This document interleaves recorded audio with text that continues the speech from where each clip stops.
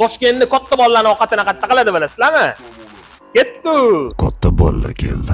Bugun salihov gurman bizga katta bolalarni ovqatini qilib beradilar. Bu ovqatda ot go'shti qazi to'sh iliq qoqilib bitta qozonda qaynatilib darmon sho'rva degan ovqatga aylanadi. Pishgan masalliqlarni mayda to'g'rab piyoz suzmalardan qo'shib keyin bulyoni quyiladi. Mazasini tasavvur qildinglar-yu ayniqsa mana bunaqa sovuqda zo'r ketadi. Shamollashlarni olib ot kuchini oshiradigan ovqat ekan.